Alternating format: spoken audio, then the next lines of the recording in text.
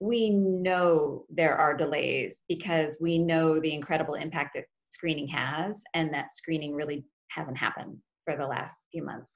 So that means that thousands of cases are not being picked up and are going to be picked up later um, and after um, screening resumes or when someone has symptoms.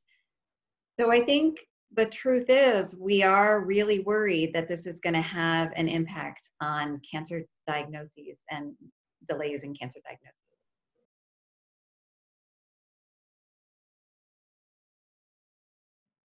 And now with COVID, I think that people have um, unfortunately sort of pulled back from healthcare, are afraid to go to the emergency room, to their doctor's office. They aren't really thinking through and being the same self advocate that they would normally be.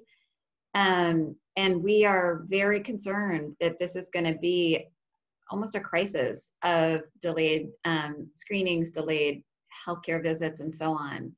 Um, so the rule still applies. If you're worried about your health, call your doctor. Um, we've sort of figured this out on the healthcare side. You know, our offices are pristinely sterile. It is much safer to go to your doctor's office than the grocery store. they are not letting in anyone who has any symptoms. Um, there's much more intense screening, much more intense cleaning. Um, you can always start with a phone call. We have a lot of telehealth, video visits, um, and trust the healthcare system to help you navigate that when you need to be seen in person and not. But please don't delay um, reaching out at least with a phone call if you have symptoms.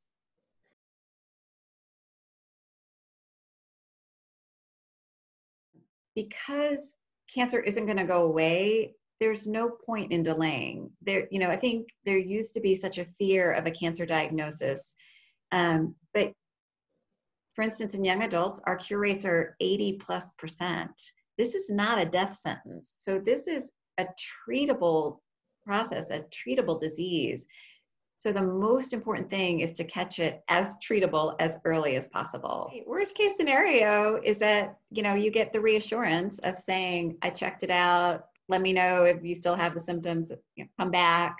Um, but if the worst case scenario is a reassurance, it's better to have it checked out.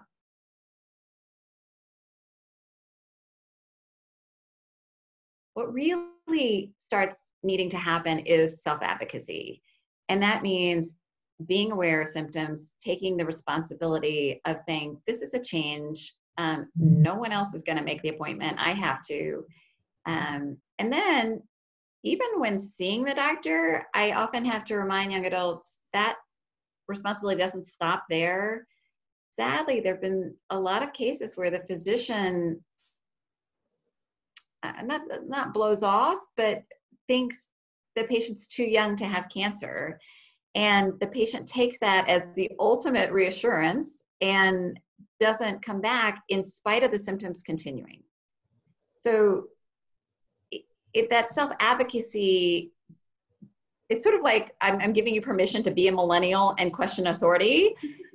If the symptoms are still there um, and you're still worried, you have a right to go back and say, I know you told me not to worry, but I'm worried. Um, so it, it is uh, a continuing responsibility as an, as an adult to always be your best advocate for your own health.